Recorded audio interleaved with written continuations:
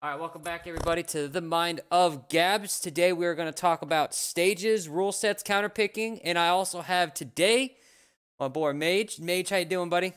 I'm doing really well. Thanks for having me on today. No, thank you for coming. See, this is the type of conversation where you have to have like two people, and especially someone of your caliber present, so that way we get more than just like one single opinion. And you know a lot, so um, you said something not too long ago that kind of resonated with me which was about how you notice there's a generation of players who aren't really utilizing like counter picking or just just the rule set in general of selecting stages.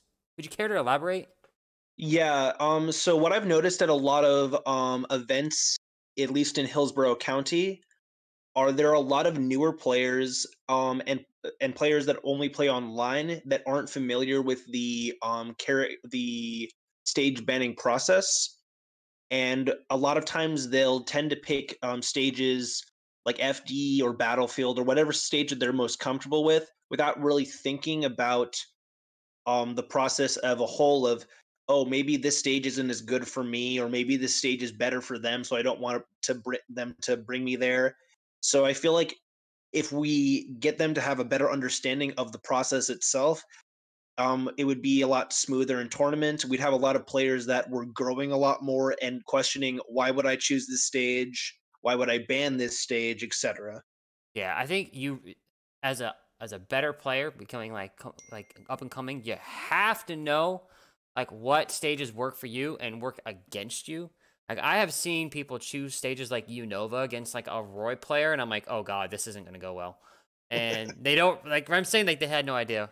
So what we're gonna do is we're gonna go over the starter stages and counterpick stages. We're gonna go over the the, the rule set. I got one pulled up here um, by Xanadu. This is kind of like the official one. You don't really see the set procedure changing much. So I think what we'll do is we'll start with the set procedure, and then we'll talk about like the stages themselves um, at to to kind of end the video off. Um, so it works like this. So step one is like, let's say me and Mage are playing. We're gonna run through it together, right? So we both sit down. I look at Mage, and I say, "Hey, we're gonna do a double blind." Um, what's a double blind? Well, a double blind uh, means that both of us won't know who our characters are before our match starts. So what we're going to do is we're going to um, talk to the TO, and we're both going to lock in our characters.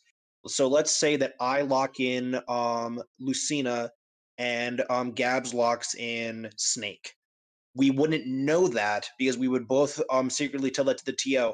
And once we had done um, all of the uh, stage selection, once the stage had been selected, then we would pick our characters, and there wouldn't and then there wouldn't be any way that we could like secretly counter pick based on the stage they chose. We're locked into that character. Right. So um um something that I like to do is if there, there's no TO present or like if it's a bigger tournament is I'll, I'll double blind in one of two ways. I would either grab somebody that's watching the or just nearby say, "Hey, could you help us double blind?" Um, I'm gonna tell you who I'm going to use, and then um, they're gonna tell you who they're gonna use, and then you're gonna tell both of us at the same time who we're using. What I'll also do is like if there's nobody present that you know I feel comfortable with, I'll say, hey, let, how about we do this? Let's pull out our phone. I'll, I'll put a text message in. I'll, I'll text message myself my character, and you text message yourself your character, and then we'll show each other our phones. Like there's there are other ways to go about it, right? So let's say though you choose. Um, let's double blind real quick. I'm gonna choose. I'm gonna choose a character, and you choose a character. All right. Okay. All right. I'm going to put my character in my phone right now, and I'm gonna choose somebody. All right. Uh, we're just gonna imagine that we did this right. Who did you choose? I chose uh, Banjo and Kazooie. Okay, I chose Joker as my character. So now we know that it's Joker versus Banjo. Um, th- the next part is stage striking. So, what's going through your mind with stage striking? So, when I'm thinking about stage striking, a lot of times, a lot of people um tend to go for stages like, for example, Pokemon Stadium 2, a lot of people love to default to that stage. So, and, and it's a pretty good, like, uh, all around stage, but there are definitely some um people that definitely want to be on it more. Like Snake, for example, would be really good on that. But with Joker, I'd say that I would be um in this matchup. I would not want him to um I would not want to bring him there at all. So what I'd be thinking is okay, as Banjo and Kazooie, who um can't can't really utilize those platforms very well. I'm going to say, okay, well, I'm going to go to I'm going to ban that stage outright. Okay, so let's real quick. Um, for us, like you and me, we, we know what banning is. Um, but for newer players, um, I think we should refer to it as striking. So you strike first, right, for starter stages. That ten- that gets confusing though. I, I say ban all the time, but I know newer players like, wait, I thought you could only ban and counter pick. Technically, that's the truth. All right, but you call it banning. Um, okay, so the process usually goes one, two, one, right? Because there's five starter stages: Battlefield, FD, PS2, Smashville, and Town and City.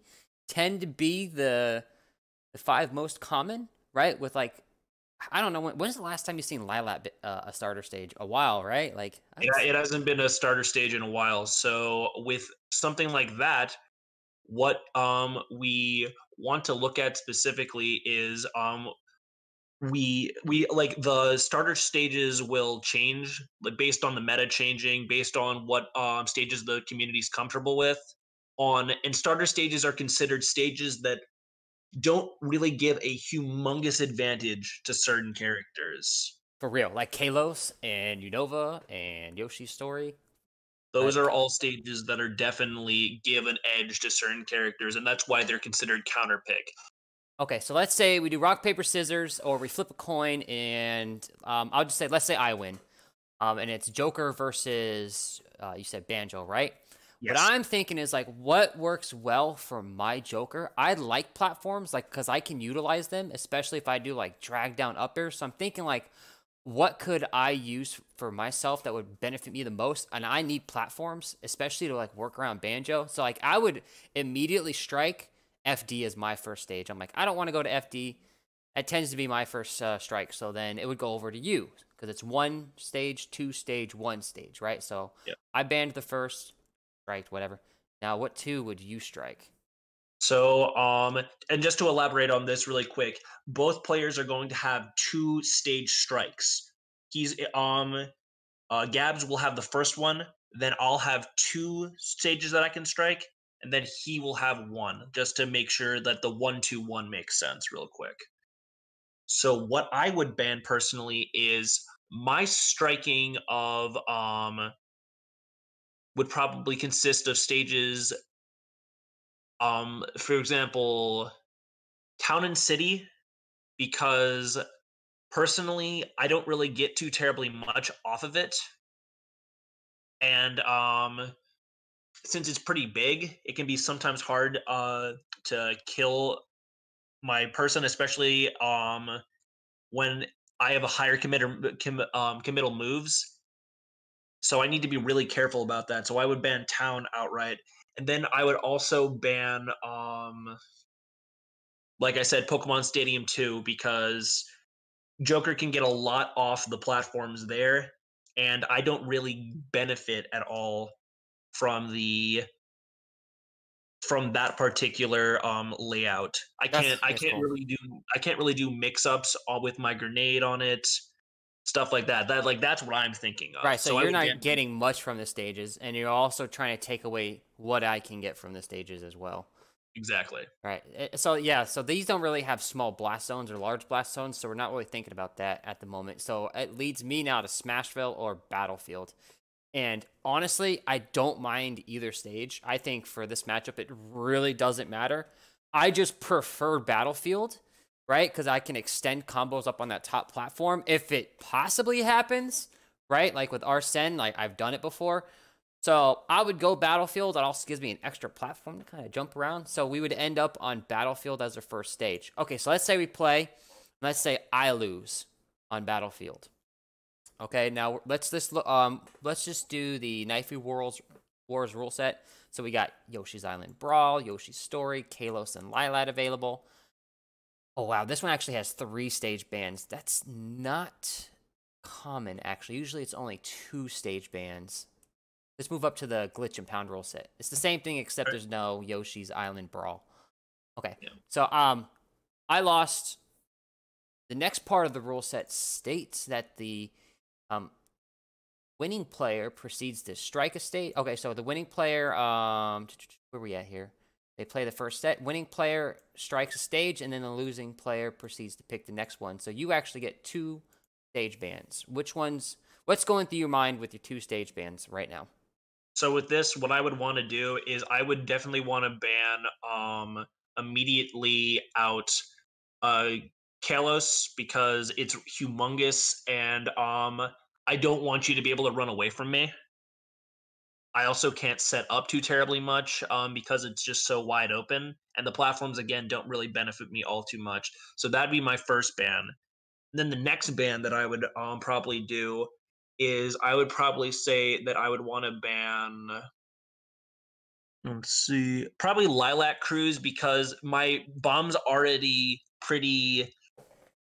My grenade bomb is kind of already weird with how it bounces, and with how the shape of Lylat is, it can make it even weirder with the um straight um shape of the actual stage itself. So I don't want to even like make a risk of that.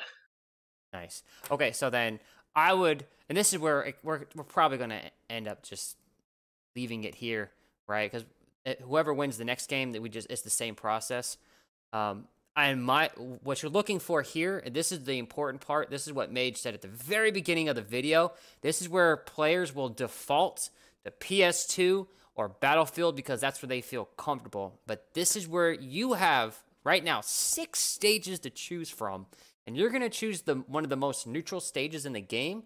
You need to find the one stage that fits the matchup the most, and this is what's gonna change from matchup to matchup. But here's the th- here's here's the deal. If you have a main, you already know which stages aren't good for you. It's like Mage already knows that he he doesn't like Kalos, right? Like it doesn't really help out Banjo. And he doesn't really like Pokemon Stadium 2. It doesn't really help out Banjo, so he's not looking to go to those stages. Is it neutral? Sure, right? PS2 is a neutral stage. But he's not going to go there because it doesn't help him out. And as Joker, why would I choose FD, right? Like he doesn't like it. It doesn't really help me out though. So I would want to choose a, uh, a stage that's going to help me out. So I would actually go Yoshi's Story. It's the same as Battlefield except smaller blast zones now. And if I do, if I get one pull down combo or one, oh god, right? If I hit you with a Arsene back air at like 85, you're dead on that stage. So I'm trying to go for like early kills or something. Yeah, and the reverse can be said um as well. Is if I if I hit Joker with one strong move, since he's much lighter than I am, I can destroy his stock very quickly. Not only that, the, the benefits that um, Battlefield gives me, where I can hide under platforms with grenade and prevent him from getting um to me by creating a zone, is even worse on Yoshi's story because the platforms are even closer to ledge. So it's very hard to weave around me when I put the grenade in front of me. See, this is where I think now what we need to do is is go through the stages and kind of talk about them in general. Yeah, Right, that like- sounds great. And with that being said, guys, tune in to the next video where we will talk about the stages themselves. We're going to go through Battlefield, FD, TNC, whatever you see on the stages there. We will also include Unova in the discussion, and that will once again be in part two of this video. So, once again, if you want to listen to a breakdown of the stages, tune in to the next video. Thank you guys uh, for watching and uh, stay safe.